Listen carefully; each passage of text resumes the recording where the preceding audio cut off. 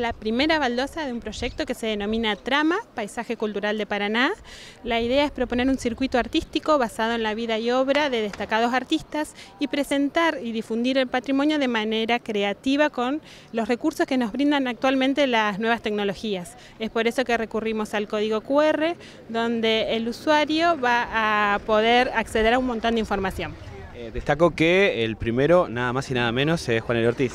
Sí, y justamente estamos emplazados eh, sobre la barranca, a pocos metros de la casa donde vivía, sobre calle Torres, y es un lugar que él transitaba, donde él todas las mañanas venía a pasear, a inspirarse, a reunirse con, con, sus amigos. Recién estaba su nuera, que participó del acto y contaba que se admiraban todos los visitantes que venían de otras ciudades, de otros países incluso, y les se quedaban fascinados con este paisaje y bueno, y este era el lugar donde los convocaba justamente Juan L. Y también, bueno, está justo al lado de mm, la vereda, ¿no? Eh, donde transita mucha gente, muchos turistas, entonces nos parecía el lugar adecuado para tener este homenaje. Exacto, donde está bueno, su mayor fuente de inspiración como ha sido nuestro río Paraná. Eh, destacamos que no solamente es un aporte al turista, sino también a los paranaenses que transitan por acá, que sepan de Juan L. y bueno, empiecen a conocer mucho más de nuestra cultura, nuestra identidad.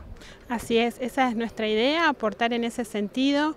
Eh, pueden ingresar a nuestro sitio que es proyectotrama.com.ar y ahí descargar de manera gratuita el lector QR, que es lo que van a necesitar para poder acceder al material, eh, una vez que se acerquen a la baldosa y la lean con ese sistema, con esa aplicación, van a acceder a material multimedia como videos, textos, imágenes en referencia al artista. Eh, sé que hay un gran equipo y que eh, el inicio de este proyecto se debe justamente a una presentación. Ustedes forman parte de, los, de las convocatorias de FEICAC. Eh, muchos proyectos culturales hay, este es uno de estos.